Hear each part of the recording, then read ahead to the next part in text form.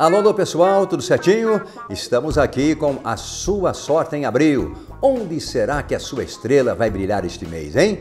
No amor? Não, no amor a gente não trata aqui, né? Aqui a gente fala muito de dinheiro, de trabalho. No amor você vai conferir no nosso horóscopo que já está rodando aí, tá? Não se esqueça de se inscrever, de clicar no sininho e também de mandar o seu like, perfeito?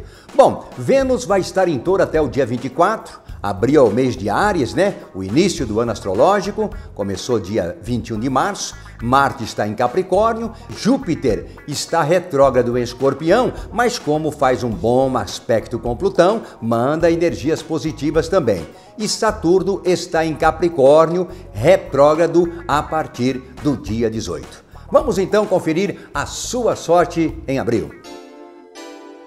Touro.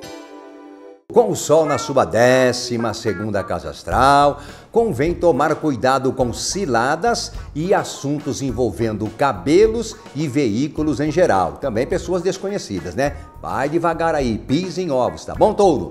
Em compensação, o bom aspecto de Júpiter com Plutão deve aumentar sua sorte em assuntos ligados a casamento e parcerias de um modo geral. Os números para você jogar 8, 17, 89, 44, 26 e 62. Cores pink e verde escuro. Os bichos da sorte: águia, camelo e cabra. E o seu talismã touro é a estrela de seis pontas.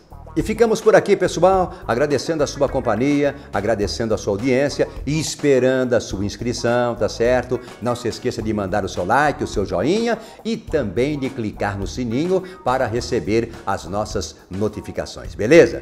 Eu sei que ninguém pode ficar só esperando, é, é, dependendo da sorte, né? A gente tem que batalhar, tem que ralar, tem que se aplicar, disciplina, determinação. Mas com sorte e saúde fica um pouquinho mais fácil, não é? Então, um abraço forte, saúde e sorte para você em abril.